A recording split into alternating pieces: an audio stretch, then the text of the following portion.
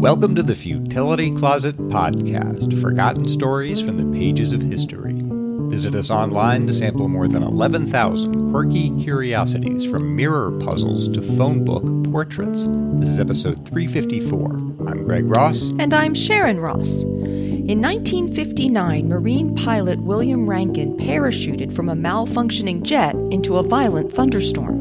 The ordeal that followed is almost unique in human experience. In today's show, we'll describe Rankin's harrowing adventure, which has been called the most prolonged and fantastic parachute descent in history. We'll also hear your thoughts on pronunciation and puzzle over mice and rice.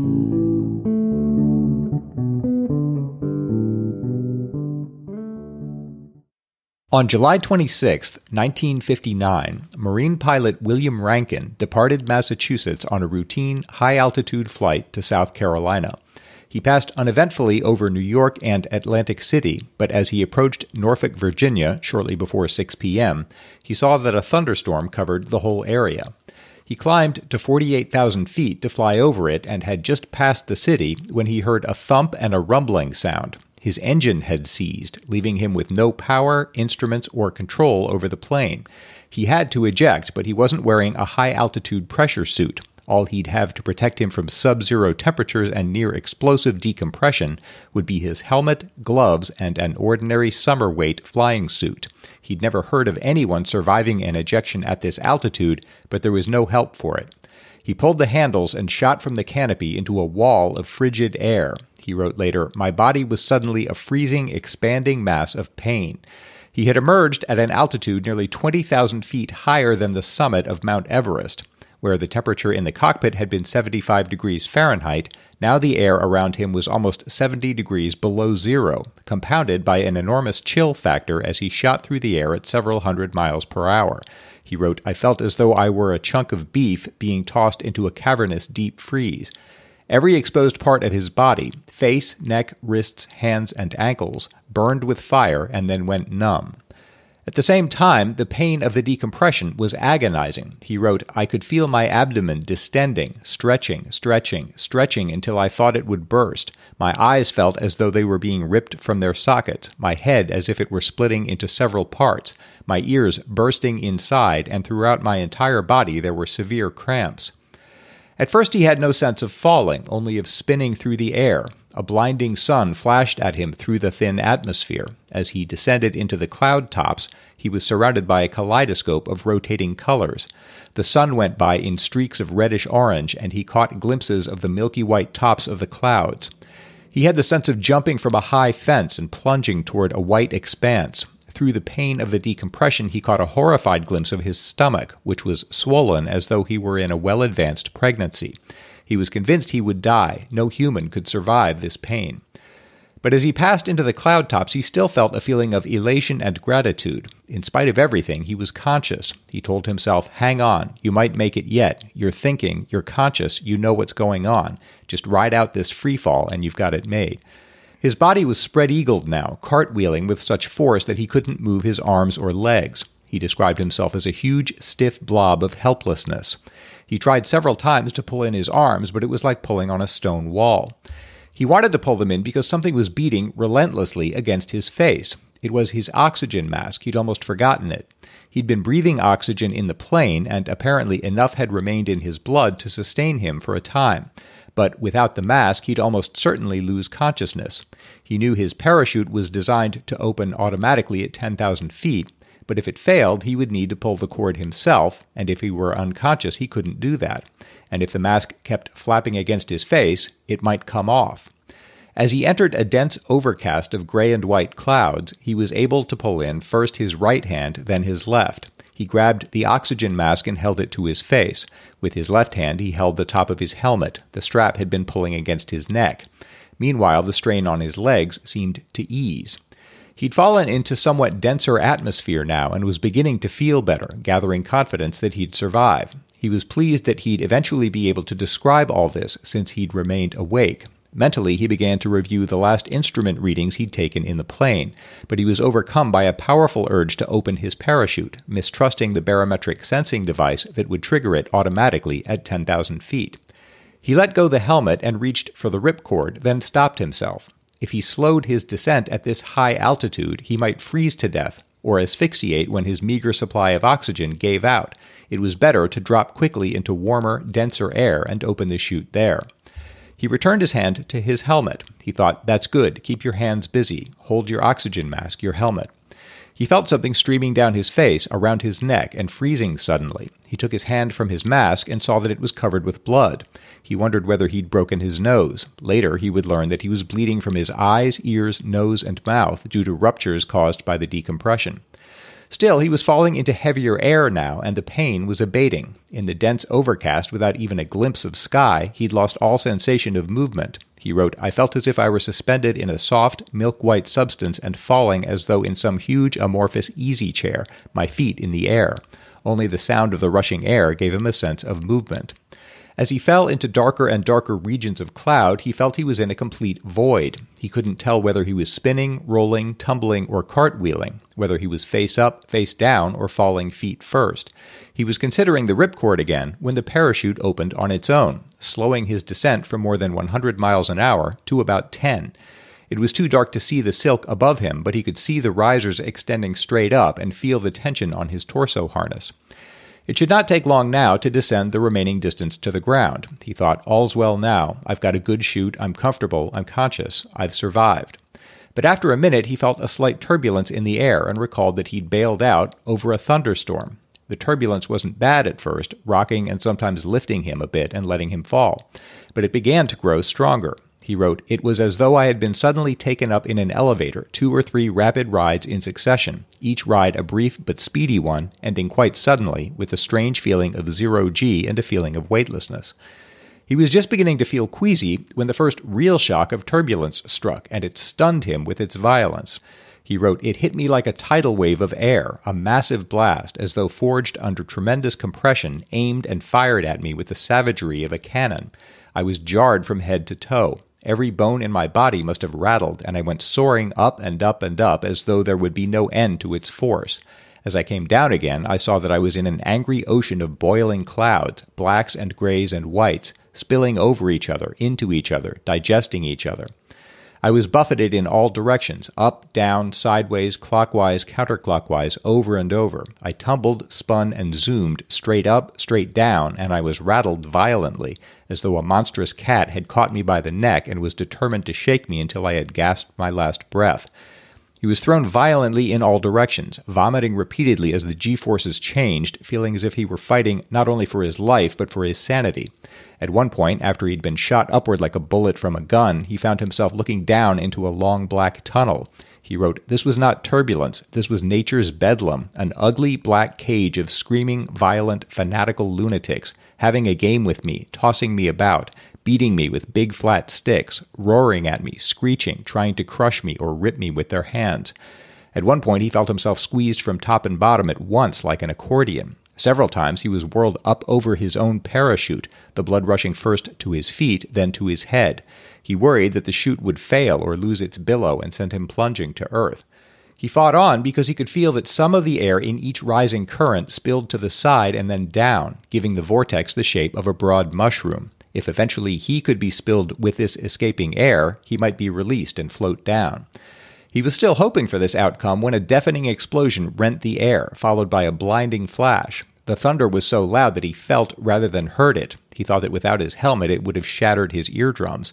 The lightning was so brilliant that even after he'd closed his eyes, he seemed to see a deep red before him. He wrote, I used to think of lightning as long, slender, jagged streaks of electricity, but no more. The real thing is different. I saw lightning all around me, over, above, everywhere, and I saw it in every shape imaginable but when very close, it appeared mainly as a huge bluish sheet, several feet thick, sometimes sticking close to me in pairs like the blades of a scissor, and I had the distinct feeling that I was being sliced in two. At each flash, the clouds seemed to boil around him, sending up huge balls of grayish cotton. Afterward, he was lost in a pool of ink. With each thunderclap, he wrote, I could feel the vibrations on my teeth as though a giant tuning fork had been struck against them and held there. He would later learn that this was one of the most violent thunderstorms ever to strike the East Coast. He described it as chaos, hell on earth, roaring, searing, flashing violence. He wrote, The unbelievable torture of a thunderstorm, the fright of it, the terrible physical beating, the twisting and turning and tumbling, the awesomeness of lightning so close it could almost be touched, the vibrating horror of thunder never meant for human ears, the fierce pounding of hail, the drenching of rain so torrential it might just as well have been an ocean suspended in air. All this, I would have told them, could never be adequately described, for it is an experience with which a mere human has nothing to compare on earth. He was certain he wouldn't survive. In fact, he wrote, At one point I saw such an eerie effect that I thought I had already died. I had been looking up in the direction of my chute when a bolt of lightning struck, illuminating the huge interior of the chute's billow as though it were a strange, white domed cathedral, and the effect seemed to linger on the retinas of my eyes. For a moment I had the distinct feeling that I was sailing into a softly lit church, and at any moment I might hear the subdued strains of an organ and a mournful voice in prayer and I thought I had died. At times he thought that sheer exhaustion might finish him, as if the storm might never end. By a flash of lightning, he glimpsed his watch and saw that it was twenty minutes past six. He thought, My God, you should have been on the ground at least ten minutes ago. You were really trapped. All this time it had been raining torrentially, sometimes so densely that he felt as if he were under a swimming pool and might drown in midair. He thought, how silly, they're going to find you hanging from some tree in your parachute harness, limp, lifeless, your lungs filled with water, wondering how on earth did you drown. Occasionally he looked up to check his parachute, afraid that it might collapse or lose some of its panels. At one point the wind threw him up into it. He felt the clammy silk close around him and was sure it would never open again. But soon he felt a jerk on his body harness and found himself hanging again from the risers. At last the air grew smoother and the rain began to fall more gently. Looking up, he found he could see the parachute more clearly against the gray clouds. Through a break below him, he glimpsed a patch of green, his first sight of the earth since he had ejected from the plane nine miles above. He guessed that he was down to three or five hundred feet. He told himself, All I have to do now is make a good landing. He came down in an evergreen forest, battered, drenched, frozen, bruised, and exhausted. The entire descent should have taken ten minutes. His watch told him it had taken forty. He saw stumps among the trees which suggested that a logging road might be nearby. He paced out a square spiral and found one. The road led him to a cornfield, and beyond that was a highway. But no car would stop for a dazed man in a blood-stained flight suit. After a dozen went by, he considered lying down in the road, but he thought they might just run over him. Finally, a car pulled over. Rankin said, Help me, I'm a pilot. I've just ejected from an airplane. Take me to a hospital. It was a family of six Farmer Judson Dunning and his wife and four sons. They'd been out for a Sunday drive when one of the boys had recognized a jet pilot and told his father to stop. Rankin gave them his helmet as a souvenir. He learned he was in North Carolina. He'd bailed out in Virginia. The storm had carried him 65 miles southwest. At the hospital, he was treated for frostbite, decompression, a cut tendon in his hand, and assorted lacerations, welts, bruises, and sprains. During the examination, the doctor remarked on the lines in his skin. Rankin's torso had swollen so much during decompression that it still bore the impress of the seams in his flight suit, as though he himself had been stitched together with bluish red thread. They wheeled him to a small room, and he was about to put his head on the pillow when he thought to ask about his airplane. They told him it had crashed in a wooded area near Scotland Neck, North Carolina. The plane had been destroyed, but no one had been hurt. After many evaluations and assessments, William Rankin returned to his duties as a Marine pilot. He retired in 1964 and passed away in Oakdale, Pennsylvania in 2009. He is still the only person known to have parachuted into a thunderstorm cloud and survived. At the time, he said, I hope it never happens to another human. But in 2007, something similar happened to German paraglider Eva Wisnierska, who was training for the World Championship when her glider was drawn into a thunderstorm over New South Wales. Wisnierska was unconscious for most of the hour long flight, but her GPS unit and tracking log show that she was lifted to an altitude of 32,000 feet. After plunging again at 100 feet per second, she woke up to find her clothes frozen and her harness covered with icicles. She scraped the ice from her GPS unit and managed to land near a farmhouse. Like Rankin, she was remarkably unhurt. She suffered only frostbite, cuts, and bruises. Doctors think that her unconsciousness slowed her heart and other vital organs, conserving heat and reducing her need for oxygen. Organizer Godfrey Wenness said, It's beyond the word incredible. It's beyond unbelievable. Her chance of survival was a minuscule little dot in a very big ocean.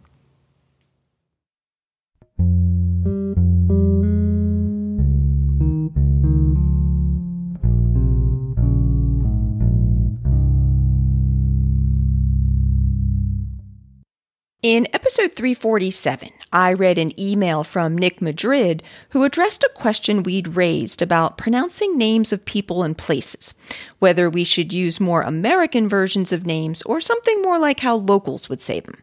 Nick introduced us to the concept of rhoticity, pronouncing an R before consonants or at the end of a word. Whether a dialect is rhotic or not is considered to be one of the most prominent distinctions between different varieties of English. And Nick thought that while it's generally a good idea to pronounce place or personal names as the locals or name owners would, switching rhoticity is distracting and confusing for listeners, meaning that since my speech is normally rhotic, I should not attempt to say kata for Carter or Melbourne for Melbourne. Our discussion of Nick's email prompted a really nice amount of feedback on this topic, putting it up there with divided trains for topics we've gotten the most emails about. I'll do my best to share a representation of the many thoughtful and interesting perspectives we received. First off, several listeners pointed out that saying that American and Canadian English are rhotic and that British English is not is overly broad, and that there are non rhotic dialects in the US as well as rhotic ones in the UK. For example, Christian Dainton sent an email with the subject line, Rhoticity or the letter ARG. I wanted to agree with the listener who said that rhoticity probably shouldn't be changed when pronouncing names from other English dialects. I come from a part of England that does have a rhotic accent, and I wouldn't dream of pronouncing Mr. Carter's name in the way he suggests, regardless of what he says. It would be unnatural coming from these lips. Doreen Kelly said, I am Scottish and I roll my R's and put them in everywhere I can. We might be a small island, but we don't all speak the same here. And Toby Wardman wrote, most British accents, including mine, are non rhotic, but not all. My wife is from Cornwall, where they do have rhoticity. She says the R in Cornwall, I don't. We've been living together for a decade, but we still have fun with noticing the differences. One consequence is that some words that rhyme for me don't rhyme for her. There's a TV show called Dora the Explorer, which we both watched as children, but she didn't realize that the title was supposed to rhyme until she heard me say it one day, whereas to me, it was obvious. Also, since my accent essentially has one less available sound than hers, there is also potential for entertaining confusion since she can distinguish between words such as pawn and porn, whereas to me, they sound identical. By comparison, most US accents are rhotic, but again, not all. Listen to how Bernie Sanders pronounces the ends of his words, and you'll find that he sometimes drops the R in the same way a Brit would. Nothing is simple. And most of the people we heard from thought that we should stick at least somewhat to our own accents when pronouncing names. For example, Julie Deschelle wrote, I think it is typically best to do it in one's native accent and not that of the bearer or the local. My reasoning for this is that people tend to have great difficulty pronouncing words in languages with which they are unfamiliar, or honestly, even in ones with which they are familiar, so that it can sound comical and insulting to try to imitate the local dialect. There will, of course, be exceptions to this. Hopefully, we all know Thames does not rhyme with James. But when I hear someone try to imitate my resplendent trash accent from Philadelphia, I'd rather them not even try. And a few others made that same point that it can be rather tricky to correctly pronounce things in an unfamiliar way, something that I can absolutely attest to. Julie also said on the topic of rhoticity in America, we certainly have dialects that are more rhotic than others. In fact, in Philadelphia, we have a situation with the name you mentioned in the podcast, Carter. The Philadelphia Flyers have a goalie named Carter Hart. Philadelphians would typically say this name rhotically. However, another player on the team and one of the commentators for the team are from Boston and have made their pronunciation of it, Kata Hot, pretty popular. I couldn't tell you how Carter himself feels about it. Kata Hot.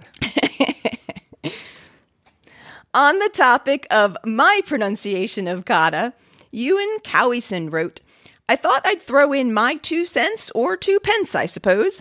I can't comment on how people would like their own names to be pronounced, but personally, I would agree with the other listener who wrote in and suggested that unexpected non rhotic pronunciations are quite jarring.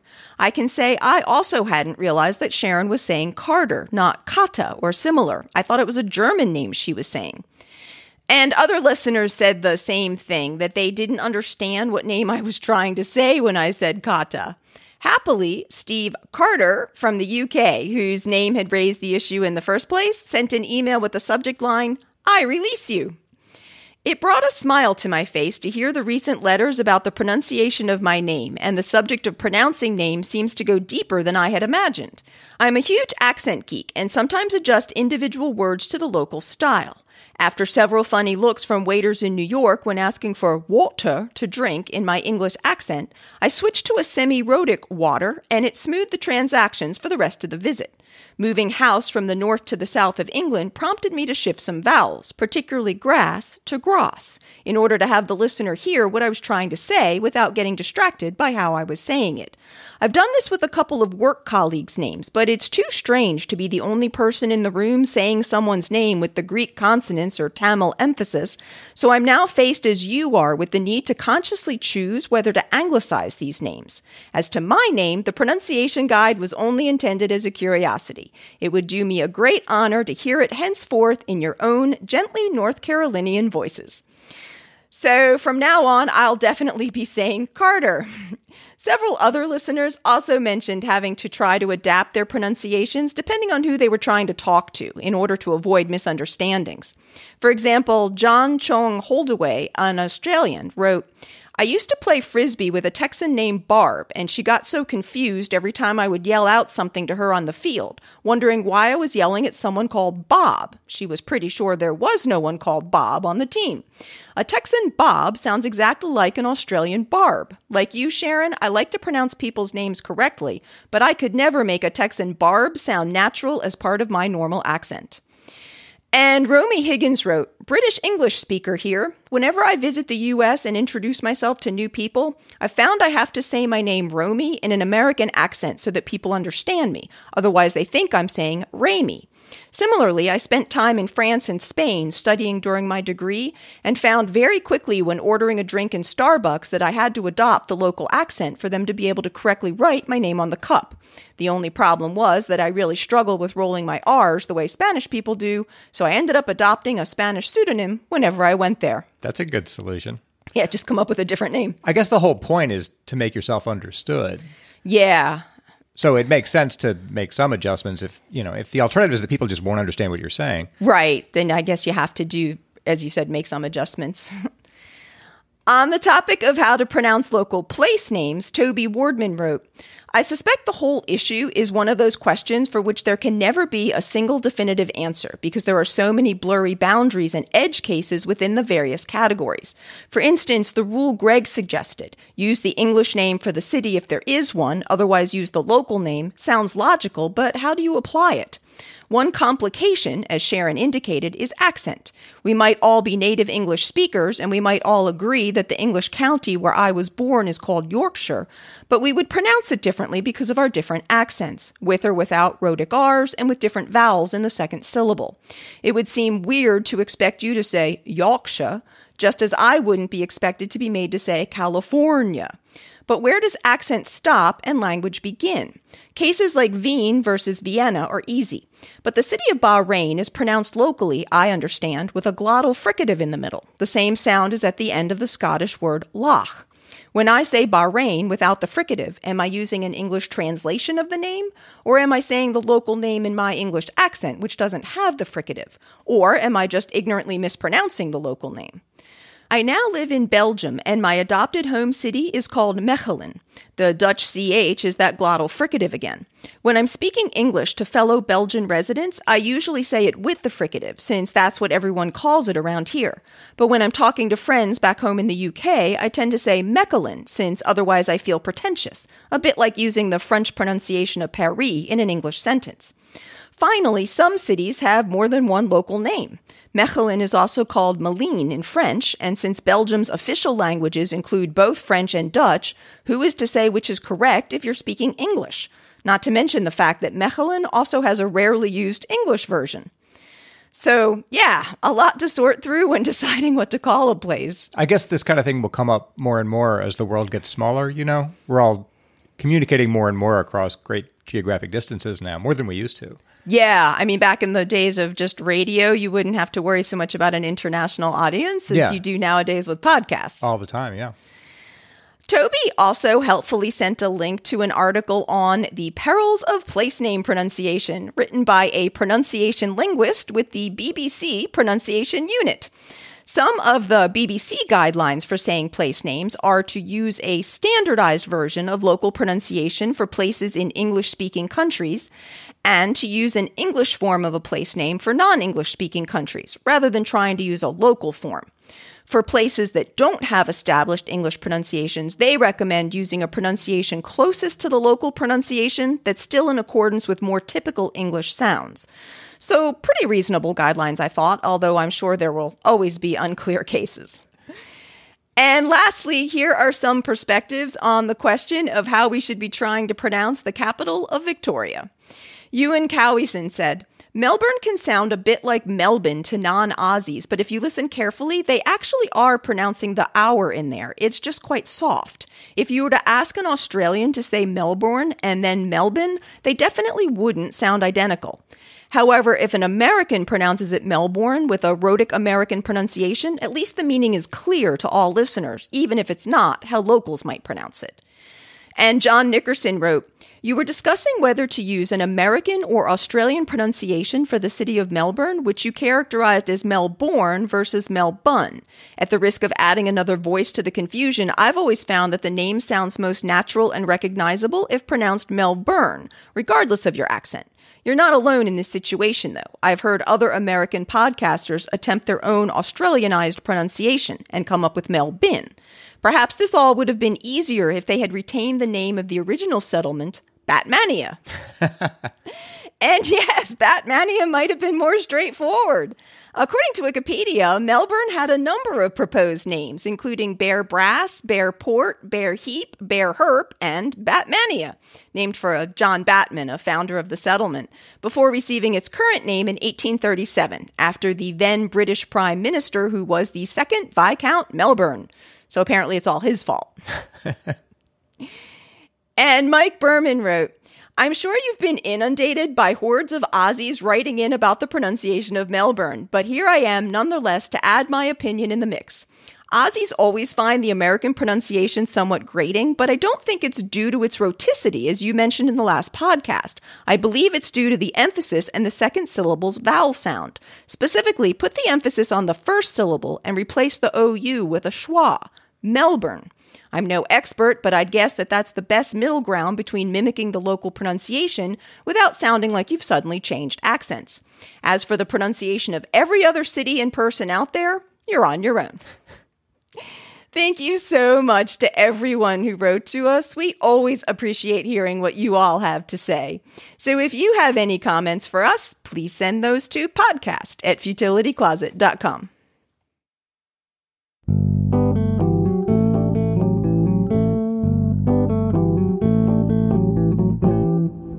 It's my turn to try to solve a lateral thinking puzzle. Greg is going to give me a strange sounding situation, and I have to try to figure out what's going on by asking yes or no questions. This is from listener John Richard. My friend Gareth loved a certain kind of rice that was sold at his local corner bodega. One day he noticed that the boxes had been nibbled by mice, so he bought all of the ruined boxes. Why? um, he figured they must be particularly tasty if the mice wanted them. Well, Greta, that's a good guess. Why would you want boxes ruined by mice or nibbled at by mice? Was he afraid that the bodega was going to stop selling this rice and so he better buy whatever they had?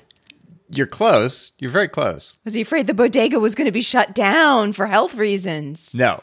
Oh okay, like if it had a mice infestation, they're going to be shut down by the city or something. Um, was he afraid that he wouldn't be able to get this rice in the future? Yes. So he was willing to take damaged boxes rather than risk having no rice. Yes. Hmm. D- did did his fear of there being a lack of this rice somehow connect to the mice? Um, or more as what was those like just incidental to each other? No, I'll say yes to that. It does connect to the mice. Was it specifically mice? Um, hard to answer that. Does it matter where this is? No. Does it matter when? No. Um, were there signs of mice problems elsewhere in the store? Let's say no. Did he think? Oh, did he think the mice had nibbled on the boxes prior to them getting to the store, or did it matter? Um, no, that does matter, and no. So he thought that the mice had nibbled on the boxes while they were at the bodega. Yes. Okay. You're very close already. I know. I'm just trying to figure out what is it that I'm not seeing. Um, mice were nibbling on the boxes of rice, so he was afraid the bodega was going to throw them all out. no. And he wasn't afraid that the bodega was going to shut down or Well, stop. I mean, yes, he probably was afraid they were going to throw them out. I mean, they couldn't. Yeah. Couldn't sell them in that state, but he bought them. but he bought them because Uh, well, did he buy them to eat the rice? that actually doesn't matter. We could say no to that. Oh. Was he going to plant them and grow his own rice somehow? I mean, normally he ate the rice. No. Okay, so he bought these boxes. He, he- and, and he might have just thrown them out himself. Yeah, the nibbled boxes because he was worried about what would happen if he didn't do that. He was afraid the bodega would stop stocking the product. Yes. Oh, The answer is that he wanted the store to keep stocking the rice, so he didn't want the shopkeeper to think that the rice had sat unsold long enough to be eaten by mice. So he bought all of it, oh, oh. which works. Yeah. Thanks, John Richard. Thank you. And we are always on the lookout for more lateral thinking puzzles. So if you have one that you'd like to send in for us to try, please send that to podcast at futilitycloset.com.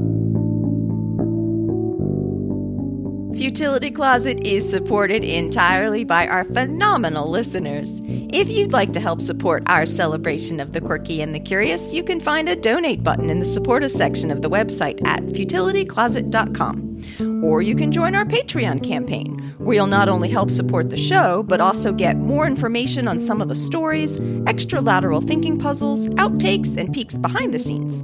You can find our Patreon page at patreon.com slash futilitycloset, or see our website for the link. At our website, you can graze through Greg's Florilegium of over 11,000 phrenic futrils, browse the Futility Closet store, learn about the Futility Closet books, and see the show notes for the episode, with links and references for the topics we've covered. If you have any questions or comments for us, you can email us at podcast at futilitycloset.com. Our music was written and performed by my remarkable brother in law, Doug Ross. Thanks for listening, and we'll talk to you next week.